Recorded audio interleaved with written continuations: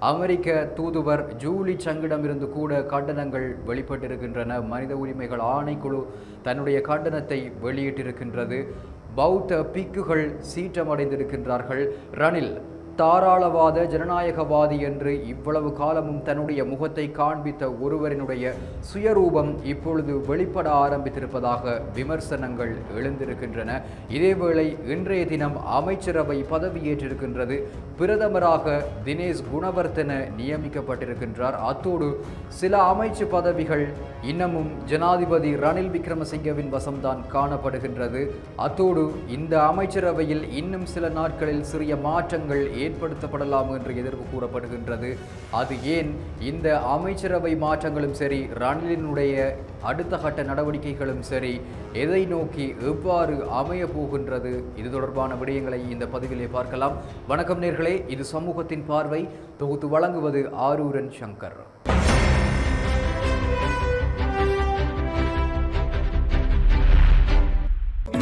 வெள்ளவத்தையில் வீடு வாங்க வேண்டுமா? ஹால்வார்டின் கரையில் ராயல் ட்ரீ கன்ஸ்ட்ரக்ஷனால் கட்டப்படும் தொடர்மாடி அடக்குமனைகள். முன்பதிவுக்கு இன்றே வந்துங்கள்.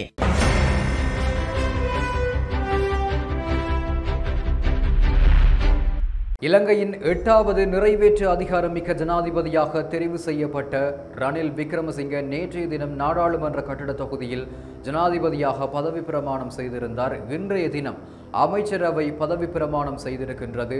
பிரதமராக தினேஷ் குணவர்த்தன நியமிக்கப்பட்டிருக்கின்றார். அத்தோடு முக்கிய அமைச்சுக்களாக காணப்படுகின்ற கல்வி சுகாதாரம் நீதி பொதுமக்கள் பாதுகாப்பு மற்றும் வெளிவிவகாரம் போன்ற அமைச்சுக்களுக்கு இன்றைய தினம் நியமனம் வழங்கப்பட்டிருக்கின்றது. இதேவேளை ஐக்கிய தேசிய கட்சியின் தேசிய பட்டியல் நாடாளுமன்ற உறுப்பினர் பதவி நிரப்பப்பட்டதன் பின்னர் இந்த அமைச்சரவையில் சிறிய மாற்றங்கள் ஏற்படலாம் என்று எதிர்ப்பு கூறப்படுகின்றது. பெரும்பாலும் ரணிலின் மருமகன் ருவான் விஜயவர்தன ஐக்கிய தேசிய கட்சியினுடைய அந்த தேசிய பட்டியல் நாடாளுமன்ற உறுப்பினர் பதவியை அலங்கரிப்பதற்கான வாய்ப்புகள் இருக்கின்றது. அவருக்கும் அமைச்சு பதவிகள் வழங்கப்படுவதற்கான வாய்ப்புகள் இருக்கின்றது.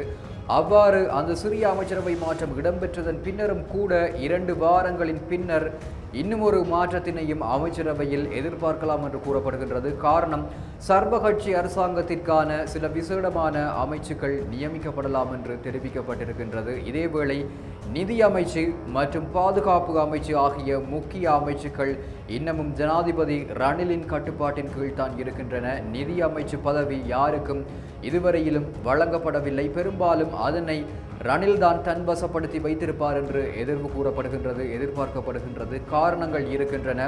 இப்போதைய இக்கட்டான பொருளாதார நெருக்கடிக்கு முகம் கொடுக்க வேண்டிய ஒரு தலைமை பொறுப்பில் ரணில் விக்ரமசிங்கே இருந்து கொண்டிருக்கின்றார். குறிப்பாக அமெரிக்க மற்றும் மேற்குலக நாடுகளினுடைய இந்த நிதி சம்பந்தமான உதவிகளுக்கு திட்டங்களை வகுக்க வேண்டியவராகவும் அதனூடாக அந்த திட்டங்களை அமுல்படுத்த வேண்டியவராகவும் அவர் காணப்படுகின்றார். அதற்குள் சிக்கல்களை விரும்பாத அவர் அந்த நிதி அமைச்சு பொறுப்பினை தன்னகத்தை வைத்துக் கொண்டிருக்கின்றார் என்றுதான் கூற வேண்டும். இதேவேளை ரணில் பதவியேற்ற கையோடு நேற்று இரவு கோட்டாகூகம போராட்டக்காரர்கள் மீது மேற்கொள்ளப்பட்ட தாக்குதல்கள் சர்வதேச மட்டத்தில் அதிர்வலைகளை ஏற்படுத்தி இருக்கின்றன. நேற்று இரவு போராட்டத்தில் ஈடுபட்ட மக்கள் மீது போலீசாரும் இராணுவத்தினரும் தாக்குதல்களை மேற்கொண்டிருப்பதாக குற்றச்சாட்டுகள் முன்வைக்கப்பட்டிருக்கின்றன. இந்த நிலையில் தான் அமெரிக்காவினுடைய இலங்கைக்கான தூதுவர் ஜூலி சங் தன்னுடைய எதிர்ப்பலைகளை தெரிவித்திருக்கின்றார் எதிர்ப்பு கருத்துக்களை வெளியிட்டிருக்கின்றார். இவ்வாறான மூர்க்கத்தனமான தாக்குதல்கள் கண்டனத்துக்குரியவை கண்டிக்கத்தக்கவை என்பதனை அவர் முன்வைத்திருக்கின்றார். மேலும் உள்நாட்டிலும் பௌத்த தேரர்களின் எதிர்ப்பினை ரணில் சம்பாதித்திருக்கின்றார். இன்னமும் சொல்ல போனால் முன்னாள் ஜனாதிபதி கோட்டாபய ராஜபக்ஷவை காட்டிலும் ரணில் விக்ரமசிங்க கொடூரமானவர் என்கின்ற விமர்சனத்திற்கு உள்ளாகி இருக்கின்றார். இவ்வாறான சந்தர்ப்பங்கள் ஏற்கனவேயும் இருந்தன. இவ்வாறான சில உத்தரவுகளை பிறப்பிக்கக்கூடிய சந்தர்ப்பங்கள் முன்னாள் ஜனாதிபதி கோட்டாபய ராஜபக்ஷவுக்கும் இருந்திருக்கின்றது. ஆனால் அவர் அவ்வாறு செய்யவில்லை.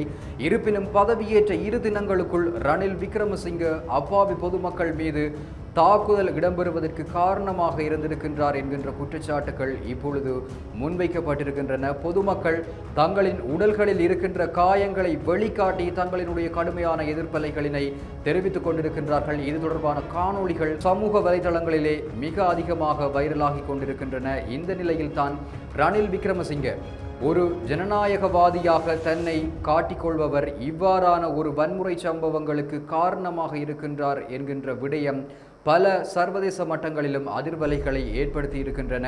அவருடைய எதிர்கால நடவடிக்கைகள் எவ்வாறு அமையப் போகின்றது என்பதற்கான ஒரு முன்னோட்டமாக இது அமைந்து விடுமோ என்று பலரும் அச்சமடைய வேண்டிய நிலைமை ஏற்பட்டிருக்கின்றது. நன்றி நேர்களே மற்றும் ஒரு சமூகத்தின் பார்வை நிகழ்ச்சியில் சந்திக்கலாம். அதுவரை உங்களிடமிருந்து விடைபெற்றுக் கொள்வது ஆரூரன் சங்கர். தொடர்ந்தும் சமூகத்துடன் இணைந்திருங்கள்.